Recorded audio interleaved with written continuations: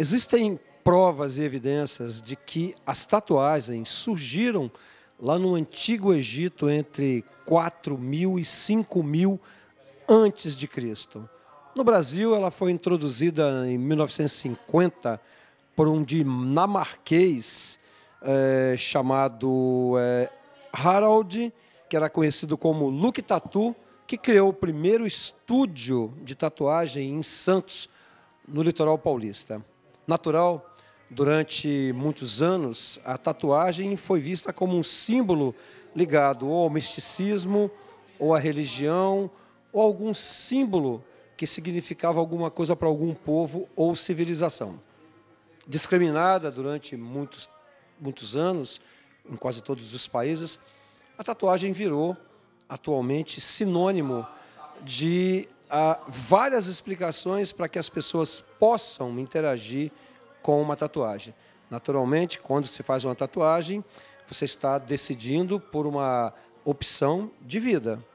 Fazer uma tatuagem é rápida, custa relativamente pouco, contrariamente àquela de você retirar uma tatuagem, que leva muito tempo com o uso de laser.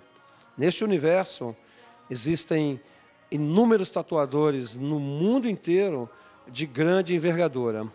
No Brasil, nomes importantes da tatuagem surgiram nos últimos anos. Alagoas não podia ficar de fora. Muitos tatuadores estão no mercado, o mercado é expansão natural. As pessoas procuram tatuagem por motivos diferentes uns dos outros. Com a chegada do verão, claro que tatuagem se faz durante o ano inteiro, mas com a chegada do verão, há uma tendência que as pessoas usem a tatuagem como forma de expressão cultural, como forma de expressar uh, um valor até emocional. Então vamos conhecer um pouco agora do universo dos tatuadores alagoanos. Bom, mulheres tatuadas é um conceito, é uma emoção. Dizem que muitas mulheres estão dizendo que falta um pouco de sal, falta um pouco de molho, falta um sorriso nos olhos, falta um sorriso na boca. Então, a tatuagem ela vem até substituindo esses vários simbolismos. Olha aqui, ó, encontramos a Maria da Silva, que é Relações Públicas, e ela tem poucas tatuagens. 43 está se dando de presente mais uma. Maria, você acabou de falar aqui que tatuagem para você é uma emoção. Cada tatuagem sua tem um significado diferente? Cada tatuagem tem um significado diferente. Eu faço normalmente em fechamento e início de ciclo, assim. O meu braço é repleto de frases que eu levo para minha vida. Essa aqui, muito próxima da tatuagem que a Thay está fazendo, é um impossível de cada vez, que é uma coisa que eu levo para minha vida. Então, gente, um problema de cada vez a gente consegue resolver. E essas 43 têm todas uma história. Você começou a fazer tatuagem com que idade, Maria? 18 anos. com 18 anos eu não parei mais. Com 18 eu falei, meus pais falaram, né? Você só pode fazer tatuagem com 18 anos. Quando eu completei 18 anos, eu me dei duas tatuagens de presente. Desde então eu não parei. Tá, mas aí você enfrentou algum tipo de discriminação ao longo desses anos com essa quantidade de tatuagens que você tem? Um pouco, um pouco. Eu sou da área de comunicação, então trabalho muito com marketing. As pessoas já têm uma ideia de que a pessoa que trabalha com marketing tem uma imagem diferente. Mas trabalhando em algumas empresas mais tradicionais, eu enfrentei um pouco. Depois que a gente que a gente é, é, vai passando o tempo e vai mostrando o nosso trabalho, a gente consegue desenvolver um, uma, uma carreira que as pessoas olhem primeiro para você, para sua competência e depois para as tatuagens. Mas o cabelo colorido e as tatuagens realmente chamam um pouquinho. Você tem alguma tatuagem muito assim especial que tem um significado gigantesco? Todas, você acabou de falar que tem um, um significado, tem uma emoção, mas tem uma que é 100% que você assim se liga 100% nela? Sim, sim. É, eu tenho os meus avós tatuados nesse braço aqui, uma ilustração que é os meus avós paternos. E foi uma tatuagem que eu fiz na época em que minha avó descobriu uma doença é, muito grave, enfim, ela não está mais aqui hoje. Mas eu fiz em homenagem e a minha avó é extremamente católica. Quando ela viu a tatuagem, que ela falou assim, repara, falava para todo mundo, repara que ela me fez aqui no braço dela. Então, assim, é uma tatuagem que realmente me dá um, uma coisa especial. Quando você vem fazer uma tatuagem, qual é a sua preocupação maior? hidratação, é, o estúdio, a pessoa. Eu me sinto muito confortável com a Thay, então isso me deixa muito à vontade, não me deixa tensa, porque tatuagem tem alguns lugares que incomodam um pouco, né? Então eu sempre me preocupo muito com isso. Se é uma pessoa responsável, se é uma pessoa que segue todas as, as diretrizes de, de higienização, de limpeza, tudo certinho. Você pretende dar continuidade? Com certeza, esse braço está tão vaziozinho, tá vendo? Não tem um número limitado, então, para você. Tem, o céu é o limite. Bom, gente, é um universo que por muitos anos foi dominado pelos homens e que, claro, carrega consigo, carregava consigo, obviamente, uma discriminação, está chegando ao fim. Esse universo dominado pelo público masculino, ainda hoje, a maioria dos tatuadores são homens, está chegando a um certo momento em que as mulheres começam a a serem tatuadas e tatuadoras.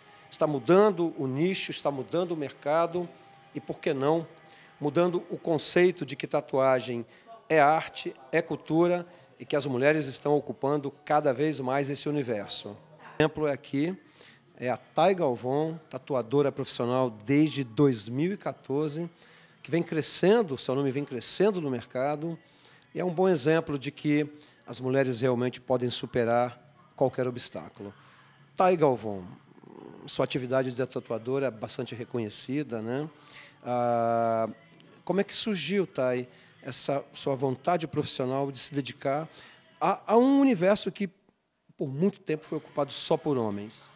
Então, eu sempre gostei de tatuagem, eu sempre gostei de desenhar, sempre fui envolvida com arte, desde criança. Desde os quatro anos de idade que eu me lembre, eu estou sempre mexendo com alguma coisa, sempre criando alguma coisa. Então, na tatuagem não foi diferente.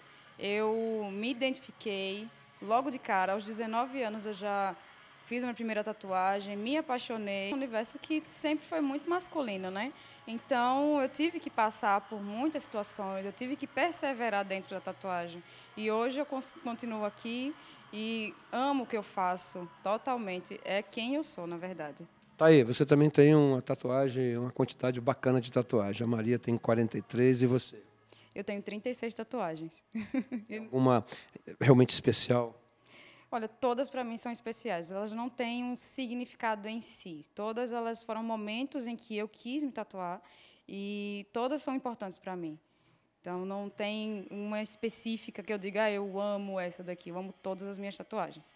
Existe, tá aí, uma tendência é, e um aumento do número de mulheres que estão procurando tatuadoras profissionais para se darem esse presente, esse sorriso nos olhos, sorriso na boca, esse molho, esse sal? Sim, com certeza. O meu público é mais feminino, né? Então as mulheres elas sempre procuram e se identificam mais com mulheres. Então estão todos buscando a mesma coisa, melhorar cada vez mais a autoestima, aumentar a autoestima. É um universo que mexe com pele, mexe com uh, emocional. Quais são, pra, na sua, na sua, é, no seu ver, Thay, os pontos mais importantes que se deve observar para se fazer uma tatuagem? Olha, o mínimo que se deve ter é um conhecimento de biossegurança.